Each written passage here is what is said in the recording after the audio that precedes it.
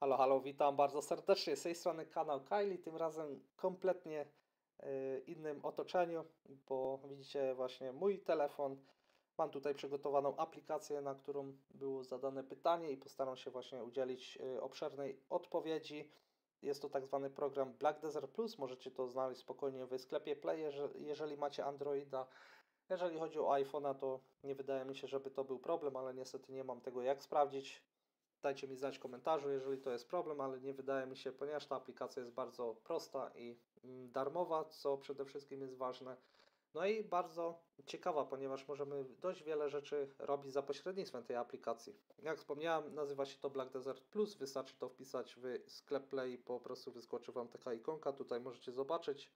Kliknę w nią teraz i widzimy tutaj wszystkie informacje, które są dostępne poprzez tą aplikację. Więc przede wszystkim widzimy tu newsy, czyli to, co mamy na stronie internetowej. Tak naprawdę to to jest mała strona internetowa w aplikacji.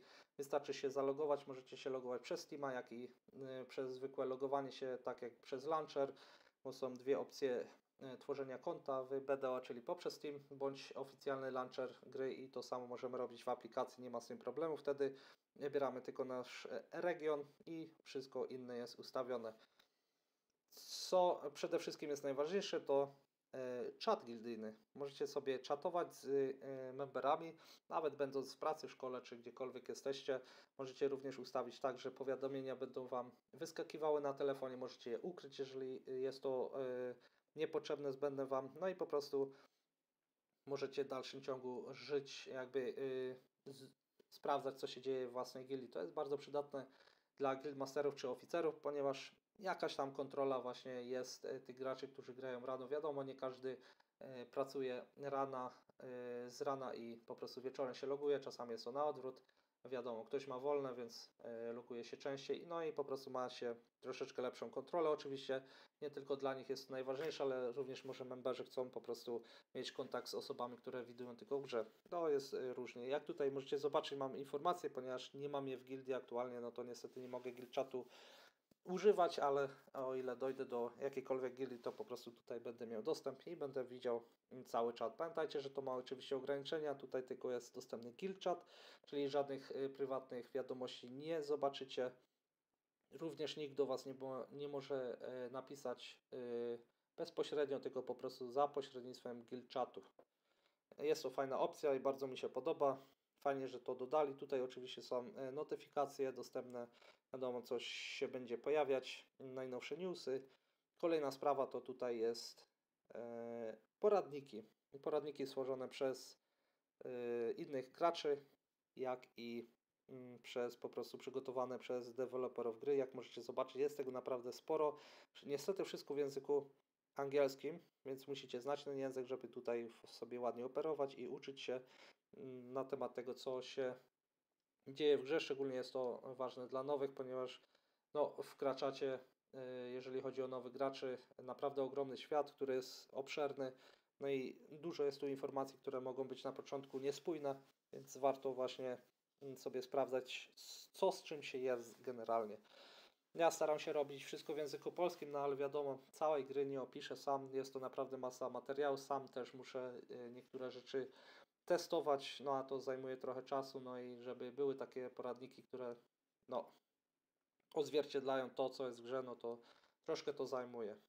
I dlatego takie poradniki też są ciekawe. Mam nadzieję, że znacie język angielski i potraficie troszeczkę tam e, sobie poznajdywać informacje. Kolejna sprawa to jest forum. Możecie sobie tutaj y, zalogować się na forum i po prostu dyskutować z innymi graczami, czy przeglądać tutaj newsy. Czasami to są newsy dostępne tylko na forum bądź jakieś ciekawe informacje na temat Class Reboot. Jak możecie tutaj zobaczyć, są tutaj dostępne informacje na temat tego, jak się wypowiadają o danej klasie yy, gracze, więc możecie tutaj spokojnie uczestniczyć w tym życiu.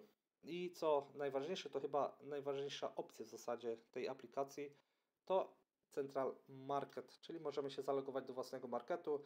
Jeżeli macie pieniądze, możecie kupywać, również sprzedawać swoje przedmioty, również odzyskiwać pieniądze. Mm, również nie ma problemu, jeżeli macie value pack, uwaga, bo czasami tutaj jest e, bug, nawet jak macie odpalone mm, value pack, to Wam będzie pokazywała się informacja, że nie macie value packa i czy na pewno chcecie odzyskać te pieniądze. Wiadomo, tutaj chodzi o to, że e, bez value packa tracicie te dodatkowe 15%, a z value packiem po prostu je odzyskujecie. O ile dobrze sprawdziłem, to nie ma z tym problemu. Jeżeli faktycznie macie value pack, to otrzymacie 84, tam i pół.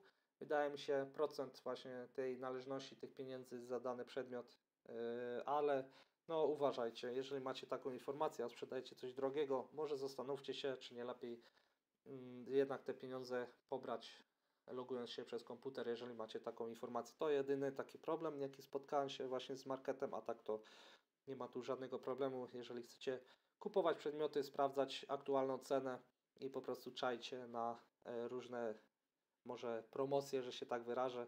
Czasami te widełki się zmieniają na markecie i można wychwycić coś naprawdę tanio i ten Central Market y, pomaga w tym.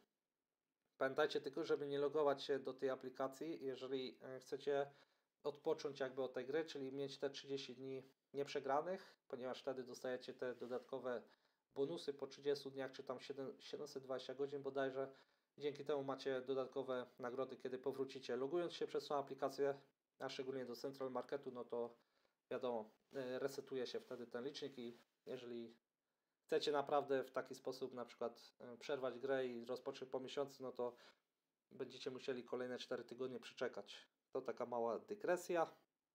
Również tutaj możecie zobaczyć sobie kalendarzyk, jeżeli chodzi o WordBossy, ustawić tutaj ostrzeżenie, czyli na telefonie Wam będzie dźwięk się mm, pojawiał, że się tak wyrażę, po prostu będzie Wam telefon dawał znać, że dany boss się pojawia. Tutaj wszystko macie ładnie opisane, więc nie ma też również z tym problemu. Jeżeli chcecie, możecie skontaktować się tutaj do supportu, szczególnie, że ja tego nie używałem za bardzo. No ale jak tutaj możecie zobaczyć, są również informacje i możecie się zalogować tutaj u góry. Nie kliknę w to, bo tam są również moje rzeczy. I możecie również zadać pytania do właśnie Game Masterów. No i to by było chyba na tyle. Dajcie znać w komentarzu, co sądzicie o tej aplikacji. Przetestujcie ją i po prostu napiszcie, jakie są Wasze wrażenia.